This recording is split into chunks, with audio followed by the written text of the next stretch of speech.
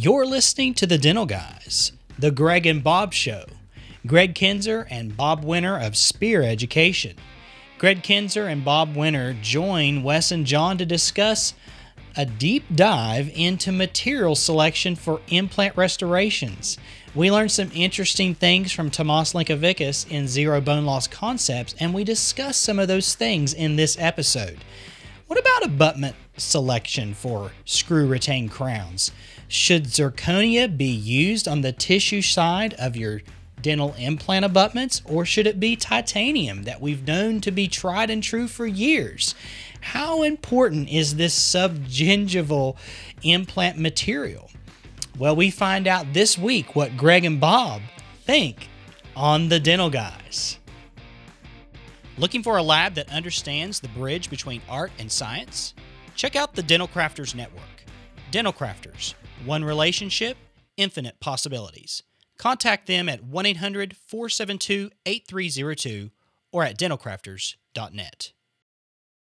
Do you want to learn to predictably place and restore dental implants using the most modern science and technology? We are talking 60 hours of CE and a comprehensive curriculum and live surgical implant placement on pre selected patients. Head over to restorative-driven-implants.com to learn more today. This is Justin Goodbread. Here is today's tip. Hey guys, it's Justin Goodbread here, at Financially Simple. Over the last year, we spent time talking about how to increase the value of your practice. We've looked at planning, leadership, sales and marketing, people and operations, and finally, finance and legal. All these various components come together to form the value of your practice. But think about this. It is highly probable for similar practices to have the same revenue and the same net income, yet have vastly different sales prices. For example, let's say that your practice has a young, very vibrant workforce who is highly educated, who doesn't plan on retiring in the near future. On the opposite side, a competitor of yours has an older workforce who is much closer to retirement and the team members aren't quite as educated. Which practice appears more valuable? Both could bring in the same revenue streams.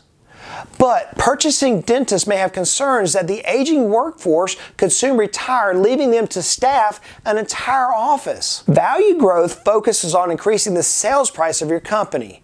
If you have questions about how to increase the value of your practice or how to potentially double your net worth every three to five years, reach out to us via financiallysimple.com forward slash dentist and we'll be more than happy to help you. For more information about today's topic and other dental related topics, head over to financiallysimple.com forward slash dentist. Until next time, make it a great day. This tip is for informational purposes only. Please speak with a competent financial advisor regarding your specific needs. Justin Goodbread is a registered investment advisor with Heritage Investors. Visit heritageinvestor.com, financiallysimple.com for additional information.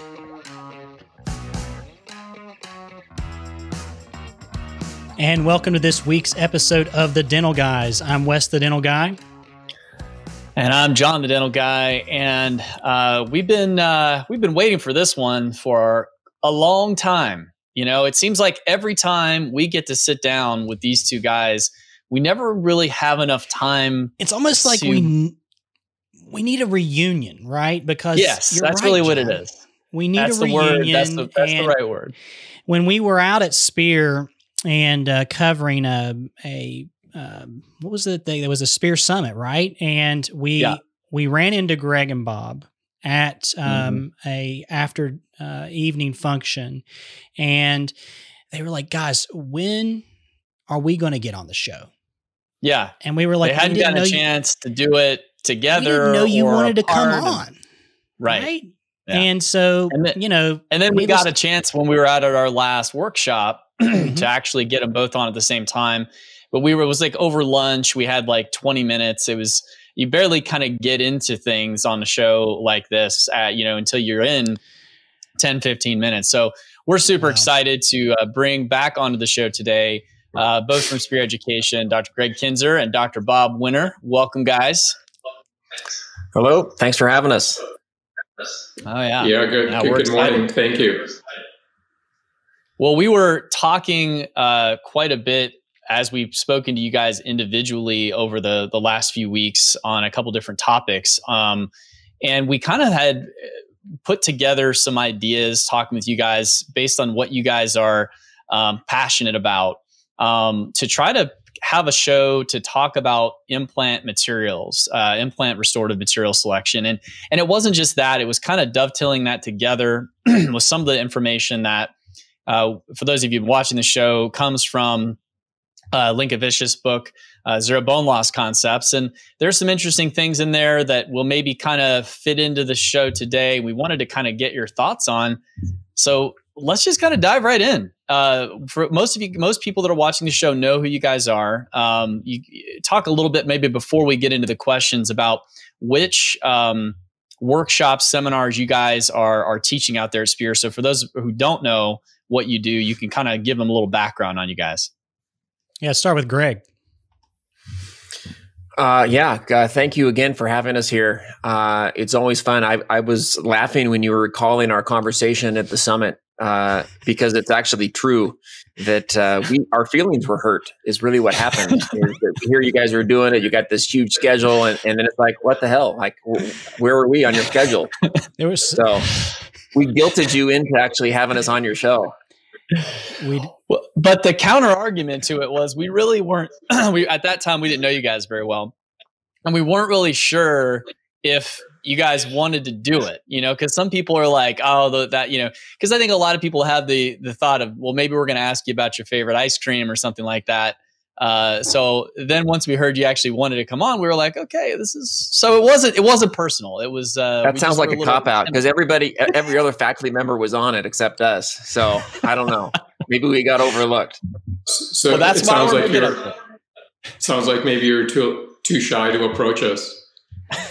maybe that's what it was. That's Intimidating. Yeah, because Bob, I mean, especially Bob, you're incredibly intimidating, right? No, not at all. Tell us, Bob. tell us what you do out there at Spear. What What are some of the things you're teaching? And Greg, we'll talk about uh, your your workshops and seminars too.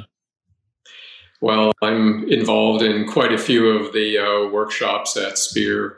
Um, spend about 90 days a year uh, teaching workshops, so that's about 30 workshops. Uh, everything from uh, preparation, design, and materials to uh, anterior indirect restorative dentistry, implant restorative dentistry, worn dentition, uh, comprehensive case planning and phase treatment, um, composite workshop. Uh, so uh, quite involved with uh, most of the advanced, if not all the advanced workshops, and do recording for online segments uh, write for uh, Spear, and so do do a lot of different things, wear different hats. Yeah, I'm. I'm Gregg, tell us talk about yours. Yeah, I'm pretty much the same as Bob. Bob and I do a lot of the advanced workshops together. Uh, I also am in almost every seminar that we do. Uh, the only ones I'm not involved in would be the airway seminar and and the uh, terminal dentition, but everything else, treatment planning, occlusion, worn dentition, interdisciplinary implants, uh, there's those are all I'm in you know, all of those, and then treatment planning, the the FGTP treatment planning workshop is the only other one that I'm in that that Bob isn't in. Uh, but otherwise, we we enjoy being around each other, Bob and I. Uh, even though we were we were trained at different times in different places. We practiced together for mm-hmm. for three years uh, when I first came into practice, and so we see things and think about things in a very similar way. So in the advanced workshop, like when you guys came in, uh, it's fun for us because you you think about things maybe differently than others do, and your your questions are fun for us, and that's why we kind of look forward to these uh, podcast with you guys because you kind of want to get down and dirty with the nitty gritty of of you know the, the, the nerdy part of dentistry that some people don't really want to talk about. That you guys want to go there, so uh, it's it's fun yep. for us. Good. Well, good. Yeah, it's, it's rare fun. that we get to geek out, you know, and and and actually, it's it's been kind of cool because as the podcast has evolved, people kind of know that's what we're about. So we we get to bring people on that are in that same vein. And it sounds like that's why you guys get uh, you know to enjoy hanging out with each other is because you're kind of the same way. So with that in mind let's begin the geeking out by talking about uh, abutment selection. And now we've talked to you guys a little bit about this in the past uh, for sure when we've we've been on together. But um, one of the things you know i want to kind of uh, maybe again dovetail it into the book you know what what one of the things that uh, tomas talks about is how we make um, decisions on the abutment based upon um, material in terms of biology as well as you know fit and then talking about emergence. And he's a big fan of using titanium bases versus using uh, customized abutments. And you know he talks about in the book that some of that is you get an oem fit uh, some of that is to have the ability to have as much polished zirconia against tissue versus having metal um, but you know early on we saw some issues you guys i'm sure did too with um, debonding of these like this the chimney length was real short. Um, you know it seems like that's maybe getting better but talk a little bit about what you guys think there uh, custom abutments tie bases for your you know for these especially these screw-tained posterior restorations you know what what are your thoughts on on choosing that and uh, biology structure all that stuff? Well i, I so I'll just let me start, let start bob uh, uh, his his book is actually really uh, it's really well put together, and he has written and thinks and has done research on things to the nth degree, um, things that maybe a lot of dentists just kind of take for granted or maybe don't even think about at all. So it's it was very nicely put together in his textbook. Um, you you bring up the good point because you could go i'm all interested in biology so that uh, zirconia surface is the most important and every abutment should be zirconia. But then you have to bring in structure uh, because there are times when zirconia maybe isn't the material because of the position of the implant and the thinness of the zirconia and then the risk of fracture. Um, so it's kind of a balancing act between if you have an mm-hmm. ideal situation, what is your thought process and what are your material selections? And then if you have to back off because one of your parameters isn't correct, um, orientation, inclination, uh, subgingival margin or sub- subosseous position of the implant, now you have to reconsider and you have to kind of go a different direction. So the good thing is that there's a lot of abutment materials that we have to choose from. And the way we would choose then would be based on the factors of what's going to be the kindest to the tissue, what's going to have the, the best fit, what's going to have the best longevity in the mouth with maybe some of the forces that we have to contend with. So it's not just telling your technician, hey, I got an implant, give me an abutment and I'll, I'll just put it in the mouth. There's so many factors involved. Yeah, one additional thought um, is the terminology used to describe um, the custom versus using a tie base. Just keep in mind that everything that you use a tie base with is customized, right? So the connection is really the reference that you're referring to rather than a, for example, a UCLA type where you can wax and cast onto a, a uh, particular uh, uh, sleeve, yeah, but yet if you have a tie base, everything above the tie base is customized. And with the evolution of tie bases, you have different, um, not only heights of chimneys today, but also collar heights, uh, depending on the position of the implant relative to the height of the t- soft tissue. So, in my opinion, they're all customized uh, uh, concepts. So, so to so to get back into your discussion, uh, manufacturers have helped us. Uh, they've learned through us, clinician. I'm talking clinicians now, not us in particular. Uh, but but you mentioned that the initial tie bases, um, we had failures. We had debonds uh, because the height of the tie base wasn't wasn't ideal. The chimney height.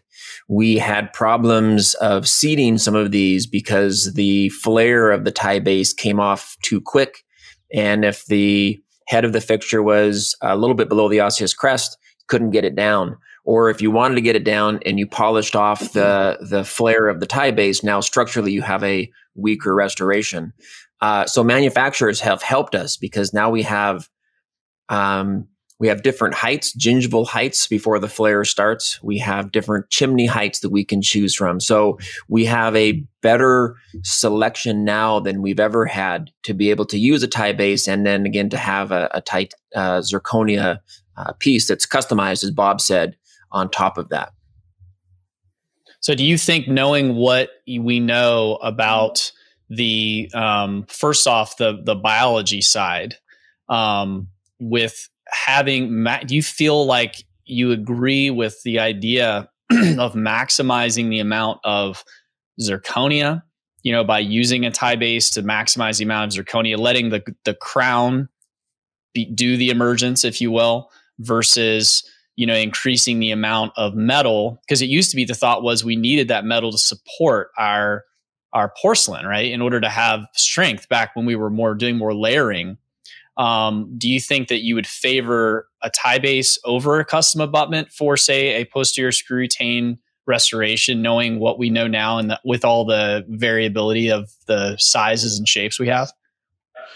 Well, your first decision would be if you want to go metal free and you want to go to zirconia as opposed to titanium. Um, you know, some of the research shows that maybe the best material subgingival is zirconia. Um, and then different degrees of polish comes into play.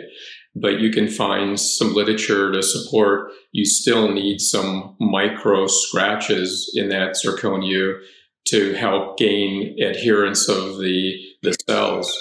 So, um, sure who that is. About that, guys. no worries. no worries, Gregg. When you're choosing, guy, Bob. Yeah, I'll Paul. I can I can mute I can mute Bob for a minute if you need to take a call. um, I mean, that's the greatest thing about live stream is we, you know, it just it's, it's whatever it's happens happens. Whatever happens Yeah, happens. right. so you were saying that you know the degree of polish all comes into play. I think what we realized, and let me go back to my four shot here.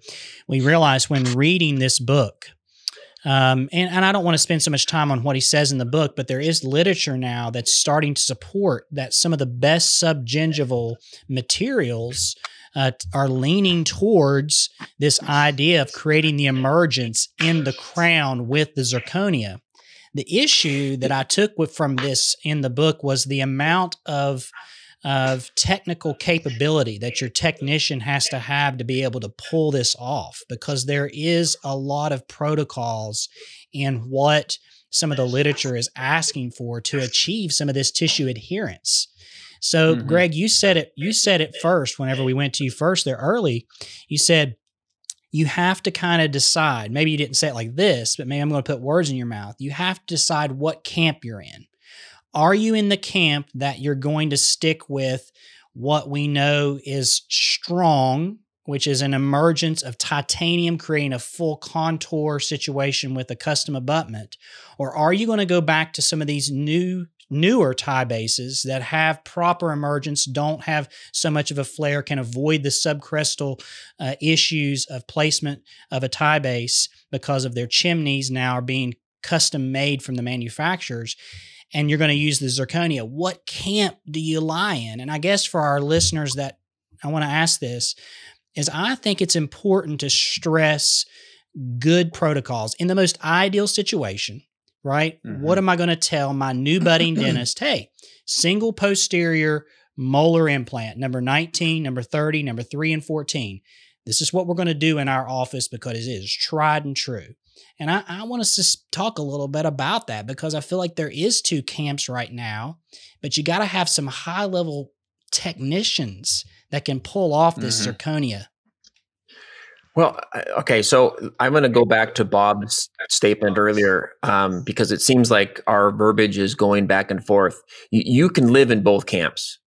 Um, I don't believe in an ideal situation there are two camps. It's it's one and the same. Uh, a tie base can have a customized abutment profile on it. The only thing that's not customizable is the initial uh, height, gingival height before the flare starts and the flare itself. But then everything that sits above that is actually customized for your patient. And you said it's not the it's not the crown that's creating that emergence. You can picture so so let's let's just say for a posterior we're going to go screw retain that's the literature would be very clear that screw retain posterior implant crowns would be the preference um, because of contacts opening and because of residual cement. That being said when you talk about cell adherence uh, the biology aspect the preferential material would be zirconia subgingival, not a poly, not a glazed uh, ceramic, not a, a layered ceramic. That being said, you can have that, and then on top of it, you could have a crown that is made as two pieces. So imagine you have your abutment that's got uh, your tie base, it's got your zirconia, and then you have a crown that sits on top of that with the hole in it that you bond together. So you can kind of get the best of both worlds. Uh, you can have ideal fit, you can have ideal interaction with the biology, and then you get whatever aesthetics you want by whatever material you're going to have as the crown, all made and finally cemented as one big piece. Um, so I don't think, I mean, Bob can talk about the the lab side of it. I don't think you need special technicians. I think uh, a, a well trained technician is able to do this. Good. So yeah, let me build on those thoughts because um, if you think about the ideal, which is what we try and think about and what we try and teach, even posteriorly, you've guided the soft tissue with a custom healing abutment or maybe even a, a provisional. And therefore, the work of the technician is copying what the clinician has created with the soft tissue profile. The unfortunate part is most clinicians don't take the time to manage the soft tissue posteriorly. And therefore, the technician, then the technician has to try and manage it on your own, their own. And therefore, the skill and understanding of the technician comes more into play. Um, but I like the way Gregg describes it because our preference is to think of always an abutment. What happens subgingival is the abutment. What happens above the free gingival margin is the crown. Sometimes they're made in one piece, right? Mm-hmm. And so if you're thinking about milling zirconia, um, absolutely one piece, and you cement that onto a tie base. The other option is you make a traditional abutment that has a prep that sticks above the tissue and an individual crown, as Gregg described, with a hole in it. That might be, in fact, it's my preference anterior or posteriorly, because I can manage things um, as if it's, uh, if I put the abutment in, now I almost treat it as if it's a tooth. I can try in my crown, check in proximal contact, check the occlusion, check the aesthetics. If the aesthetics isn't right, I can refire it, I can stain it. I have options. But if it's in one piece, and in this country, most people that make it in one piece have the laboratory cement the components together in the laboratory. And therefore, there is no recovery. If you uh, put it in the mouth and you have a loose contact, there's no way to add ceramic to it because you can't take out the tie base. Where in Europe, the, the standard would be is use some type of um, temporary material or something c- to connect the tie base to the to the subgingival restorative form. I'll call it the abutment. Try it in the mouth, and then my question to them is, how do you get the parts, uh, get the pieces apart. And they say, well, you can put it in a furnace and, and heat it up and, and then soften the cement and take it out. And I said, well, the problem with that is you oxidize the titanium when you do that. Mm-hmm. And therefore that can negatively uh, affect the fit. And now you have an oxidized surface as opposed to the polished surface. So mm-hmm. there's honestly, at this point, in my belief, there's no absolute protocol that 100% of us are following because we don't have all the answers. Um, and that actually is frustrating for us because as a as a teacher, we're trying to provide the best answers for everyone in their daily life, but I'm not sure if we have 100% of those answers. And and what you said right there is exactly why we're having this conversation because I don't know how many times that through even just our podcast that we get the question of what are you guys going to use in the posterior for your single units? What are you going to use in the anterior? And I like yep. the idea. I think you gave a little bit, you opened the keys to the kingdom just a little bit there, Bob, and and how you manage your clinical abutments and your crowns. It gives you the greatest um, ability whenever you can try a crown in aesthetically on an abutment Right. that's white, right? And work from there on your contacts, your contours, and all those things. Yeah, everybody knows how much fun it is to adjust contacts on adjacent implant crowns that are one piece screw retained. It just it just sucks, you know. And having all even, the even just a availability. single unit Yeah, just a one unit unit, to retain exactly. One piece. It's it's Yeah, it's going to take for- a ton of clinic time. Yeah. For sure. Yeah, so- and the, the challenge the challenge is when you're screwing it in because of the Morse taper that's on most implant abutment designs, you can't tell if it's 100% seated. You can't take a radiograph and say, well, that's absolutely down. I have flat surfaces fitting together, right?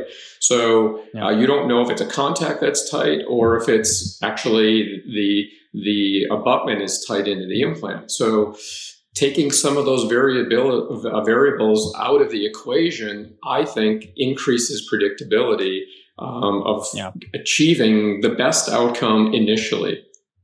Well, plus it has the the coolest name, right? Screwmentable. I mean, that's just a word that we need to be using more frequently. I think. I mean, that's just you can't get any better than that. So let me ask the question to you, Bob.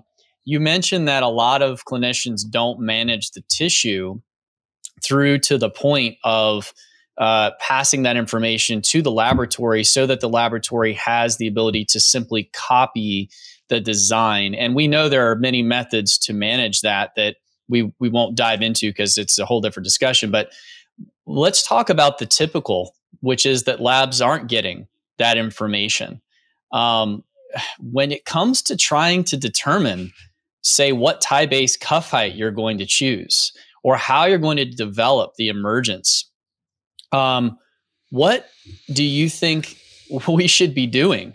Because we, you know, for instance, you know, we send radiographs along with our impressions so we can show uh, where the bone is at least and somewhat where the tissue is. The more that we're getting into this paradigm of subcrestal implant placement, thinking about soft tissue thickness, we're placing our implants deeper and deeper. Um, what are some some things that we can be doing to communicate to our lab technicians about how to make the choices of what cuff height to choose or how to develop that emergence uh, if we haven't worked the tissue out uh, in a provisional? Yeah, a great discussion and a great question. Um, my first comment would be how many technicians have been trained to read radiographs? And Right. I think the answer to that is is almost none. The higher the level a technician uh, and the closer collaboration with the clinician, um, you can help um, the co- tech understanding in that.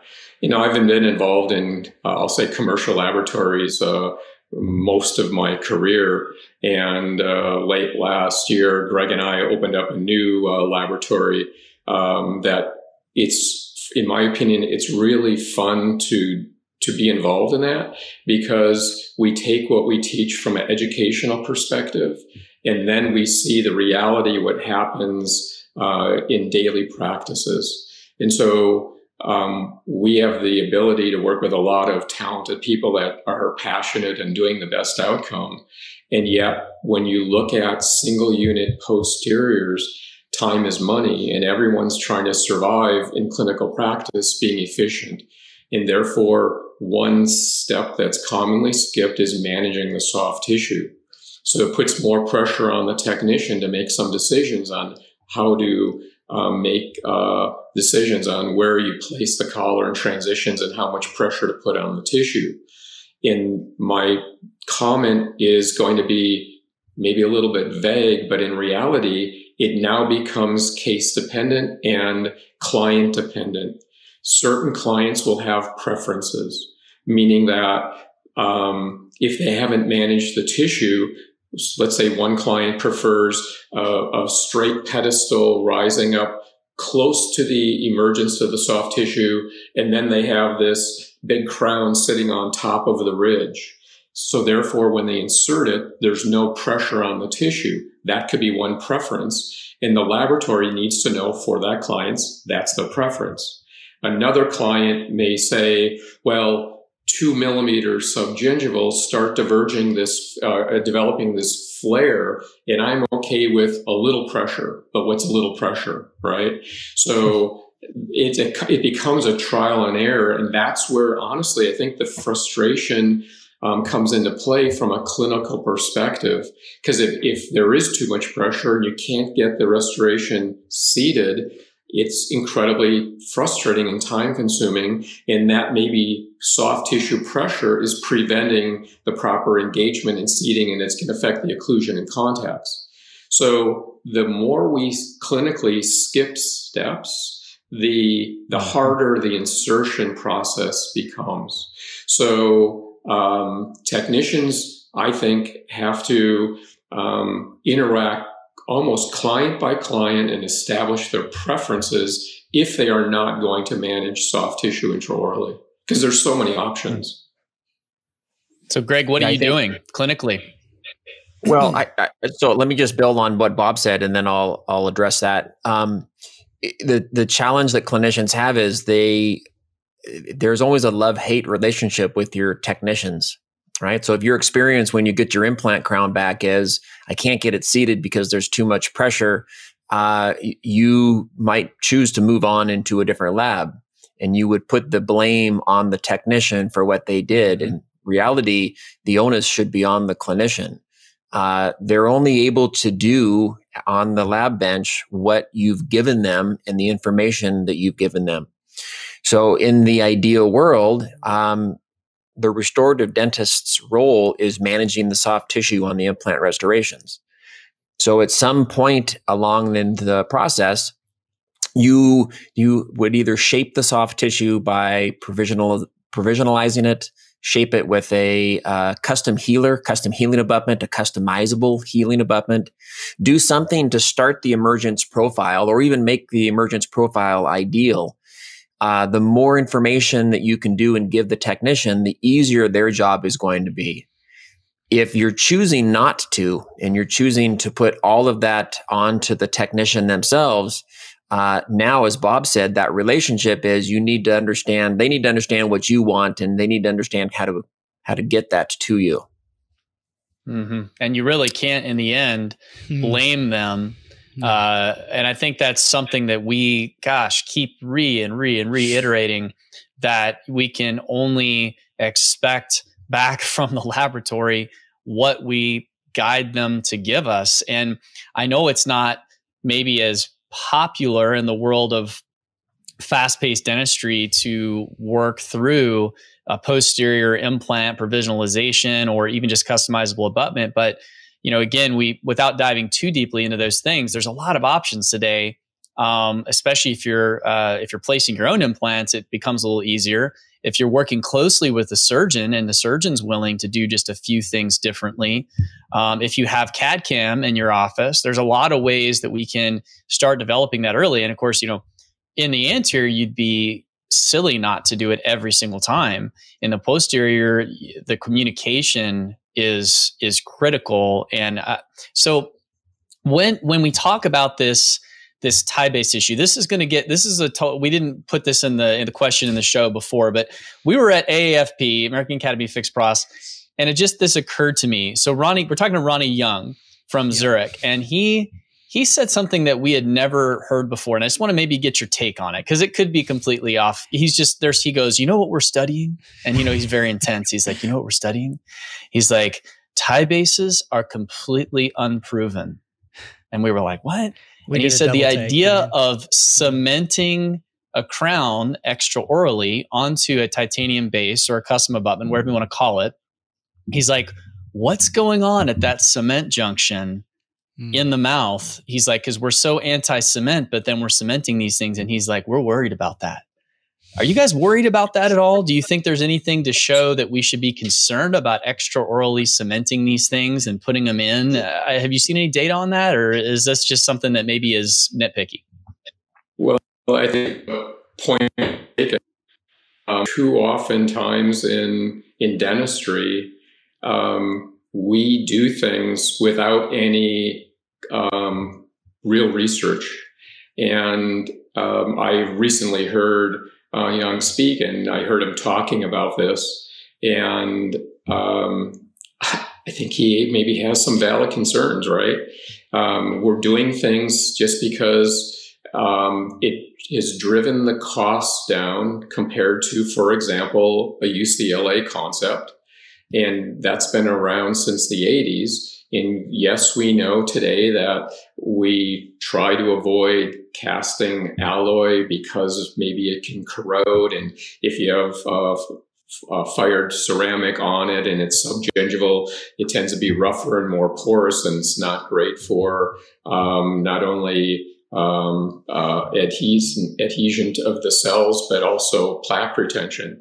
So we're looking at because of CAD CAM technology, ways to customize the subgingival form and to get away from a, a, zirconia connection to the implant, which we know has a high risk of failure. Now a titanium transition makes common sense. But yet, yeah, we don't have any real long term clinical data to say this is the right thing to do. And mm. yeah, I, I hate to say this, but if you take a pessimistic view and you look at five years from now or 10 years from now, if 90% of these things fail, we have a real problem, right? Is that yeah. going to occur? Is that going to occur? I don't know. I mean, I, I would love to believe it's not going to. But if you look at the original designs in some current designs on some systems where the the chimney uh, in one system in particular is maybe a millimeter and a half tall, and you rely on the screw to diverge the metal components so you don't rely on cement.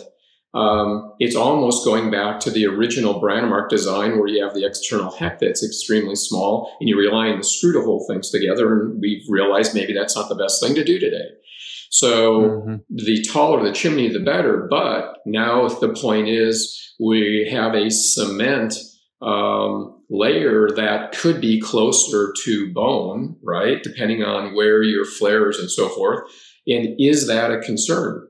Um, we don't know. And I think that's where Jung is just trying to say, we don't have the answers.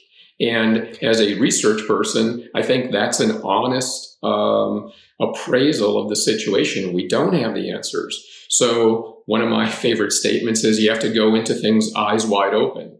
You know, mm-hmm. if there are problems, maybe um, we can't blame someone else. We have to always look at ourselves first. And maybe we shouldn't be doing things if we don't have the research to support what we we want long term.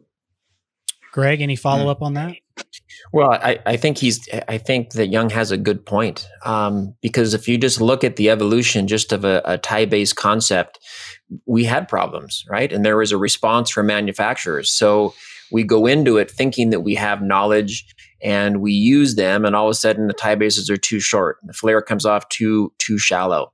And so we end up having problems. Those are immediate type problems right? They happened within the first year maybe uh, maybe even sooner. And i think what Jung is talking about now is we don't have long-term data on this We've fixed some mm-hmm. of the structural issues that we saw, but we don't know what's going to happen long term. And he's absolutely correct. Mm-hmm. Um, I mean, time will tell. The only way to to see what's going to happen is just to start watching because there's so many of these, probably the go-to material in restoration choice now to do these tie bases, because as Bob said, it it does keep costs down, which has always been a challenge in the implant world, is that costs yeah. are raised for the patient. And so uh, either the clinician loses out because the, the additional laboratory fees.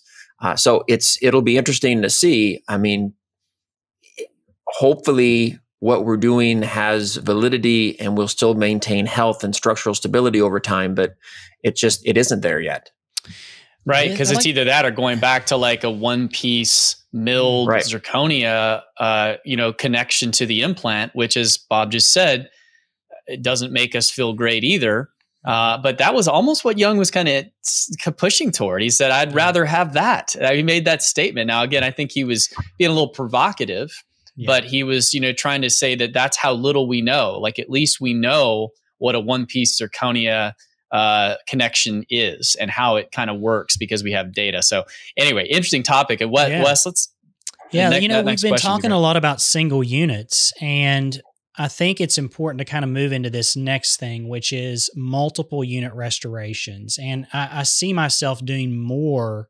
multiple implants. Uh, for instance, say a patient is, they lose 19, 18, 19, and, and 20.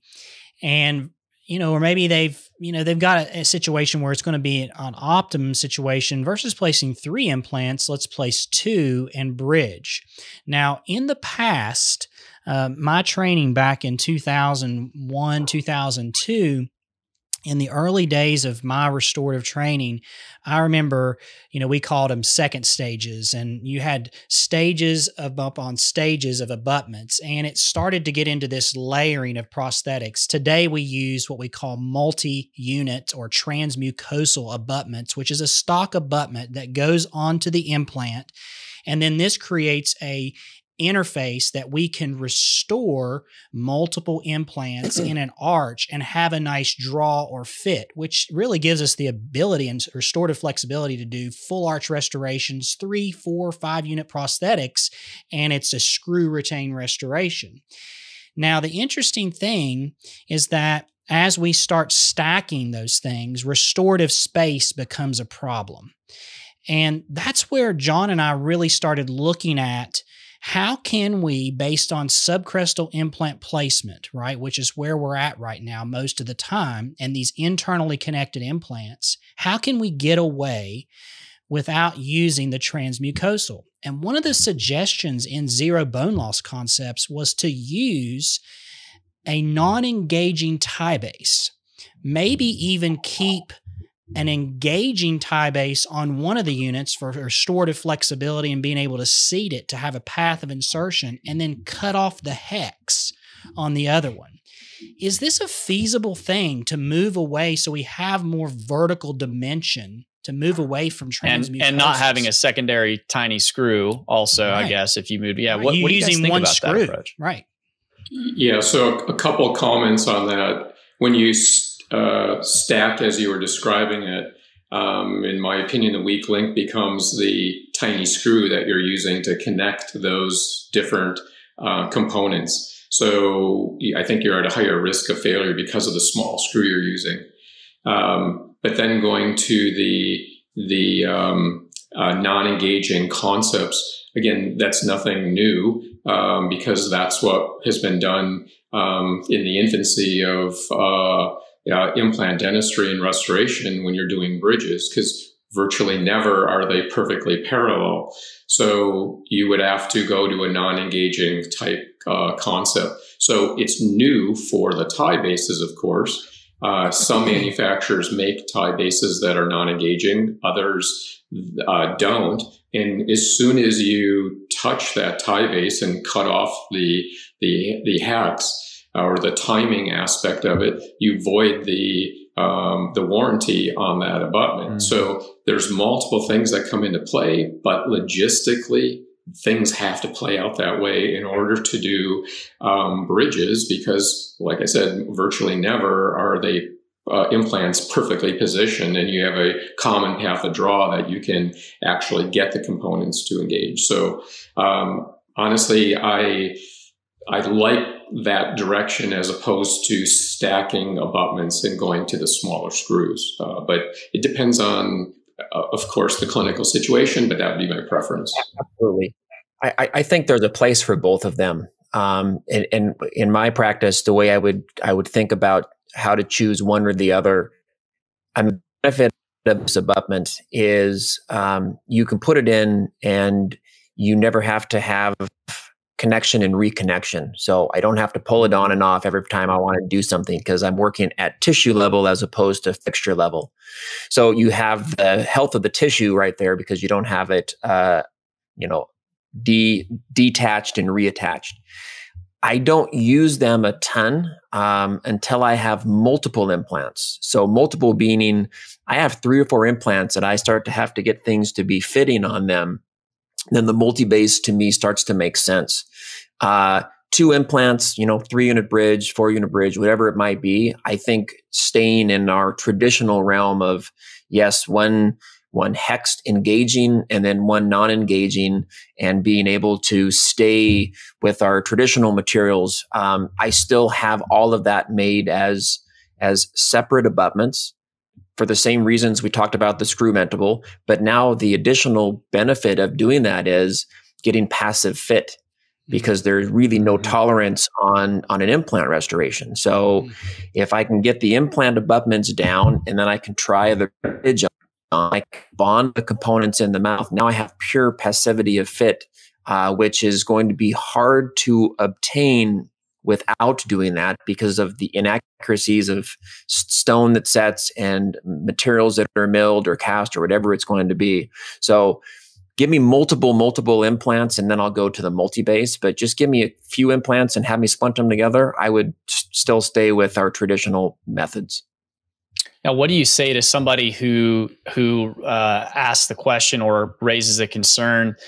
But if you're using a non-engaging uh, cylinder or non-engaging connection for a bridge, you're not engaging that connection and that stability uh, they're concerned about the stability of the joint. Um, do you think that that is an issue uh, at all? The fact that we're we have these great connections and yet we're not engaging uh, the hex is that an issue as far as things like bone stability, micro movement? Is that something that you get at all concerned about, uh, or is that something that really we go back to our external hex days?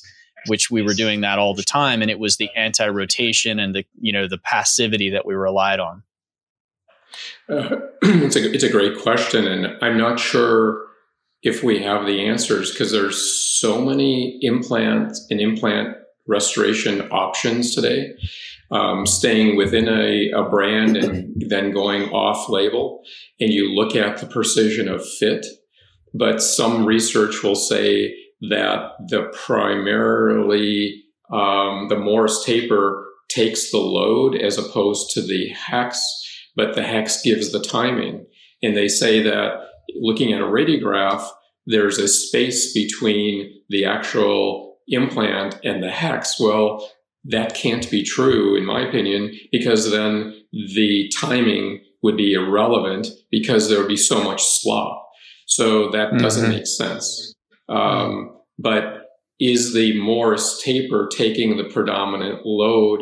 Um, I'm not a scientist. I haven't analyzed it, but it makes sense to me. But there's so many different designs. I, I, I can't generalize on that.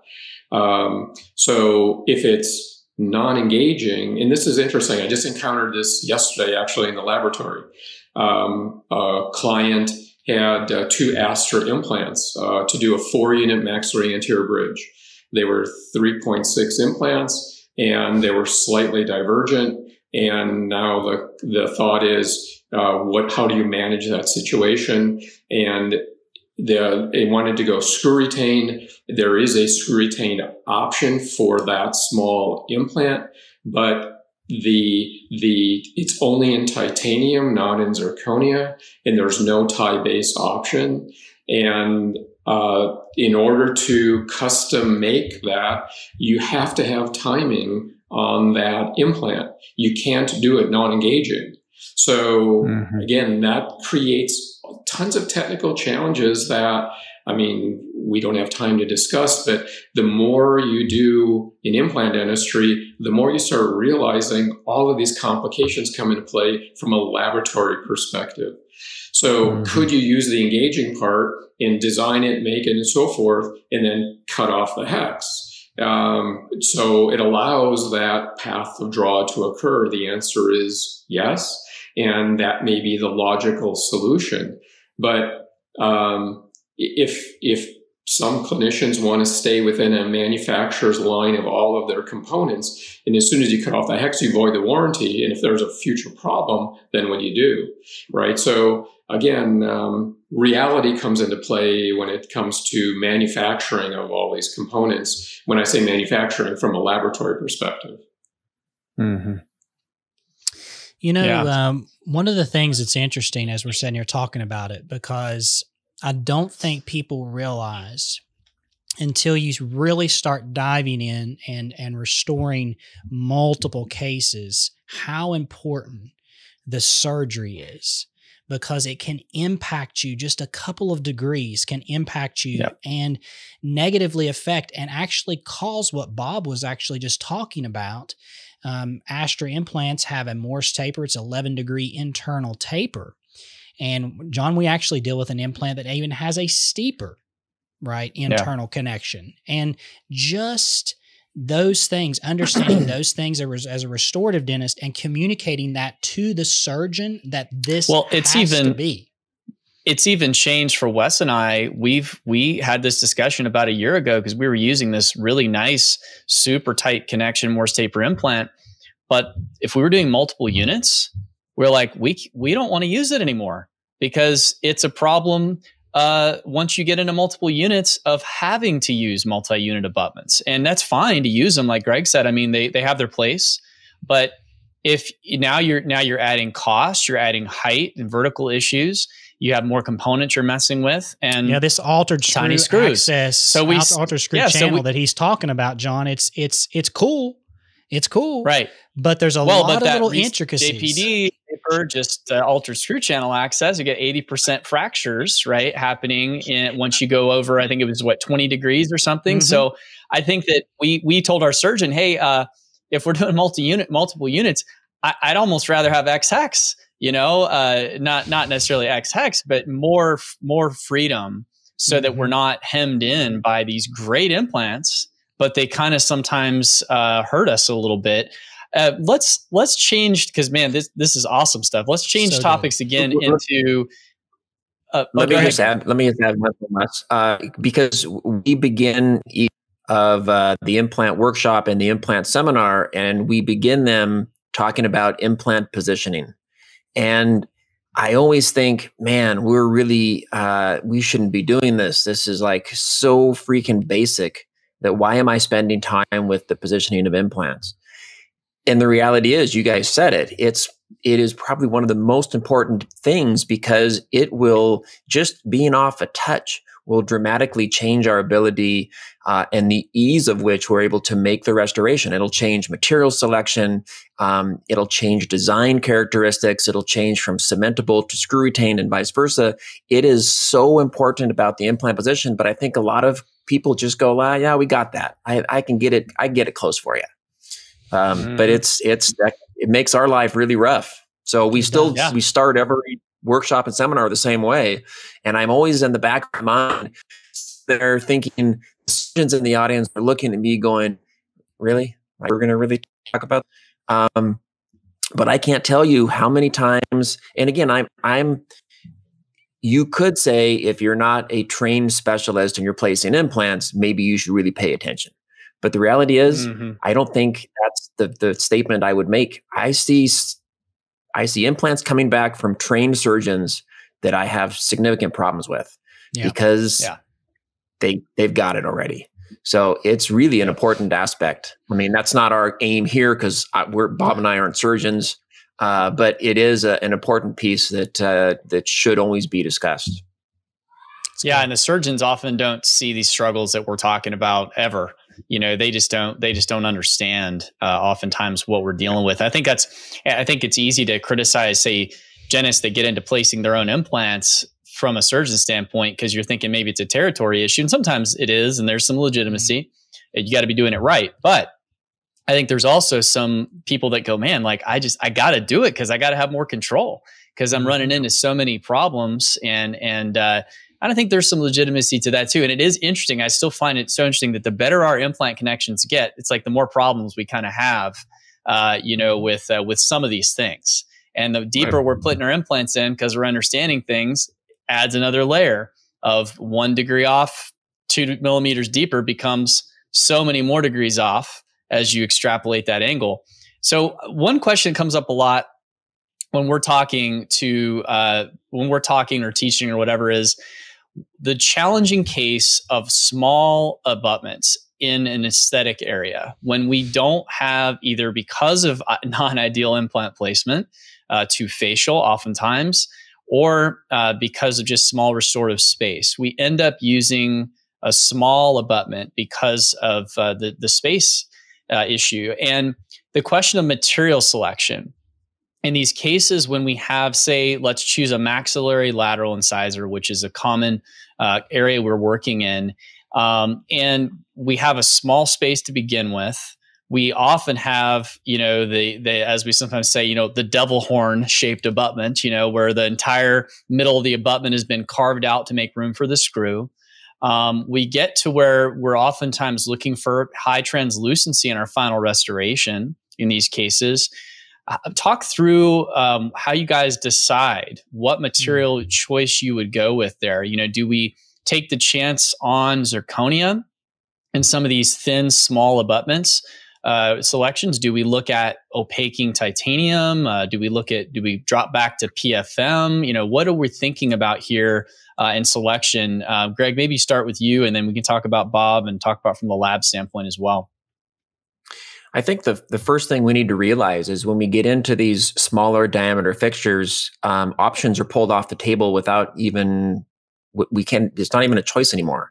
I think a lot of these smaller implants, uh, they don't have zirconia as an option because the zirconia is going to be too thin and it's going to become too weak. So then going back to the implant positioning, that's paramount now. It's it's even more important for the implant to be positioned correctly in those situations. But if you pull then zirconia off the table, now you go, what do you have left? Uh, the example that you gave is we have a translucent uh, situation. Well, if we have translucency, then zirconia gives us a nice aesthetics and strength. But if we can't do zirconia, what else do we have? Um, I think you then have to go back into a, a either a UCLA mm-hmm. kind option, or we can still buy we can buy stock titanium components and use them as a tie base because again a lot of these don't have tie bases either. So we could go with a stock titanium abutment that you would buy out of the catalog and then you could customize something that goes on top of that. So the stock piece becomes your tie base and then you could use zirconia and then bond those pieces together either as a cemented crown or a, a screw retained crown so I think that's kind of the the position that we have to go to when we start losing some of these other options. Gotcha.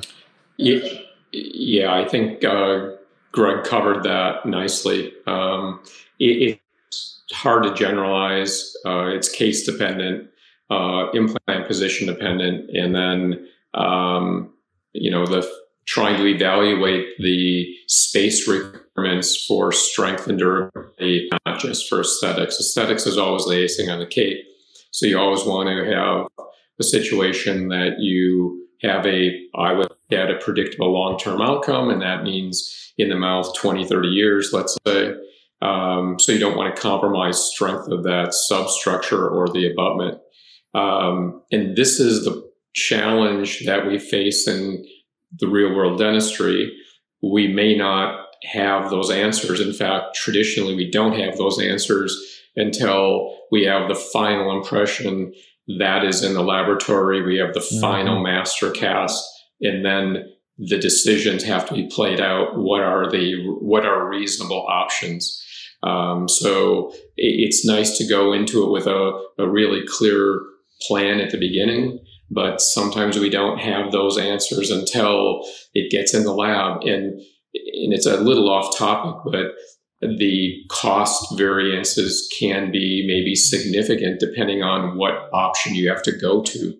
And that's where i think most clinicians have to be thinking about that um, in treatment planning and discussing um, outcomes uh, with the patient and fees associated with the case and you may have to give a range of fees for um, the the laboratory side of things because we don't know if it's got to be a UCLA or can we go to just uh, maybe an option of all zirconia stock abutment that's shaped or modified, right? So there's we don't necessarily have all those answers until the the time of fabrication of the restoration. So you know, kind of in summation here, we've talked a lot about you know, just abutment selection. And I think if you're listening to this and you're thinking, whoa, there's more to implant dentistry than just putting a piece of titanium in somebody's jawbone and taking an impression. and one of the things that I think that I began to appreciate, and it wasn't probably until I was into practice and had done this long enough, was that mm-hmm. first I recognized that taking an impression for a dental implant restoration was maybe one of the easiest things that I did in my day to day routine. But what I didn't really appreciate until I had actually seen enough and done enough was how complex it becomes the more you involve implants in your practice. And people ask us, mm-hmm. and I'm going to say this all the time as we close out the show, is if you're wanting to get into dental implants, my advice and Jon's advice has been all along, and I want to ask Gregg and Bob their advice. My advice and Jon's advice has to do with if you want to start placing implants or even restoring implants, before you even place, you need to understand restorative componentry and systems. And you have mm-hmm. to actually be a doctor, right? Because sometimes I feel like that we're not the doctor and I'm, I'm just i'm gonna be a little hard on us and we rely on other people the lab tech to share their knowledge. And I, uh, there's some great lab techs. We have one that we use that knows so much more than we know about certain things and they help us. But it's our turn to kind of step up and if I, my advice would be mm-hmm. you're wanting to learn more go out and get an amazing amount of restorative knowledge when it comes to dental implants before you just dive into it. Yeah, and that's what you guys are doing out there at Spear. I mean, talk about that, you know, as far as what you guys are are teaching and kind of along those lines, you know, what what the the value of the restorative understanding for obviously the restorative clinician but also for the surgeons because I know I know you guys teach a lot of surgeons out there too about restorative techniques. So one of the things that I always take from my surgeon. So Jim Janakievski is a periodontist here in the Northwest that I work with and, and Bob works with as well. And when he was actually uh, full time faculty at the Perio uh, grad program at Washington, he would walk in and the grad students would all want to be, you know, just chomping at the bit to place implants. And he would give them a the PROS manual. Here's the PROS restorative manual. They're like, no, no, no, we're we're Perio grad students. but he would say you need to understand what you're doing now and how that's going to impact the restorative dentist. And so it's that whole restoratively driven treatment planning aspect, and it really plays out with with implants. And so in our implant workshop that Bob and I teach at Spear, um, it, we typically always have surgeons in the room with us. There's you know two to three surgeons uh, in each class, mainly restorative dentists, but the way it's designed is to get you as as you all said is to get you to think differently about implants. It's not just screwing something on making an impression and then here give it to the lab and they'll determine it. There's so many more nuances that we as restorative dentists need to take into consideration and own ourselves to make our outcomes better. It takes more time. There's more steps involved. That's why the fees mm-hmm. typically are higher for an implant crown because I have to do more work on the front end if I want the final result to be aesthetically and structurally predictable long term. So we, you know, Bob does the hands-on exercises in that, and there's like I think 18 exercises. Bob, isn't that correct? Um, approximately. So it's there's yeah, a lot so, of different. Go ahead.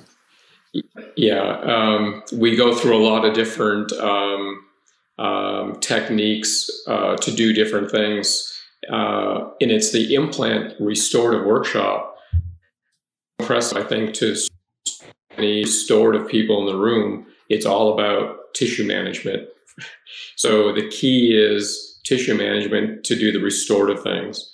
Um, and when the surgeons take the course, because they're doing that predominantly because the expectation is the restorative person wants someone else to manage the tissue, and that becomes the surgeon. So it's not about the crown anymore. You know, whether it's a veneer or crown on a tooth or a crown on an abutment, the crown's a crown is what we're doing managing this the subgingival uh, tissue is the key from a restorative perspective. And that's why we believe so strongly in the aesthetic zone for sure. Uh, we manage soft tissue, but posteriorly, equally important. And it may seem like you invest a little bit more time to manage the soft tissue posteriorly, but it solves and prevents lots of problems from the insertion uh, time mm-hmm. and and uh, predictability of that whole process. So a little investment of energy up front pays off in aces in the long run. Awesome. And one yep. additional yep. comment about um, Jim Janakievski is one reason he's such a great uh, uh, surgeon, and now we're talking about uh, implants, is he was a general dentist before he uh, went to perio. So he did mm. live the reality of the restorative side of things. So he's thinking as a restored person, just as a surgeon. So yeah. um, I appreciate Gregg's comments about, you know, the surgeons want, you know, how do I place the implant? Well, you have to think about the restorative side because that's ultimately um, where the, the, the ball lands. Right, is how we have to manage uh, manage that. Yeah. And the truly the most successful, even financially, surgeons. I mean, I know that's not what it's all about, but it's interesting that I've ever known have almost always been the ones that understand the restorative to the nth mm. degree you know because if you're if you understand that you're putting things on a silver platter for many of your restorative doctors and you're giving them a, such a heads up that they i mean they want that. They want more of that. Now i understand doesn't get us off the hook as restorative docs. We still need to be driving that. We should be taking more responsibility for that. Wes and are such big believers in that but as a surgeon if you can set up your restorative doctors, but saying, hey, you know, I've just been thinking about this case. I got a couple restorative ideas on this. What do you think? I mean, That's you're like going to dominate your area. yes. Yes. I wish we had more surgeons that were going out and taking this workshop because mm-hmm. that's what helps our so restorative good. docs. The reality is, is that unfortunately, you, and you guys are working on all of this, you know, but you're trying to get everybody up to the higher level. So, you know, this has been a great show. I think we need to come back. I, I, I personally think we definitely need to spend some time more on some subgingival tissue discussion, especially in the posterior. Would love to have you guys back to talk about that. Um, but if you've been listening to the show and you kind of have taken some of this and you thought, man, you know, I've learned some things today. Where can I learn more? Head over to Spear Education, check out what they're doing. Um, and I think you'll find that uh, they're going to offer, from a surg- surgical and restorative standpoint, the best integration or some of the best integration of those two things together. Um, also, go out and check out what we're doing over at the demos and uh, like, subscribe, and share. Give us a great review on Apple Podcasts would be amazing. That really helps us to get our message out. So we really appreciate everybody that's listening today, uh, both from the Spear Education side and the Dental Guys side. We look forward to bringing you more great content in the coming weeks. So for Bob and Gregg and Wes, I'm Jon, and we are the Dental Guys.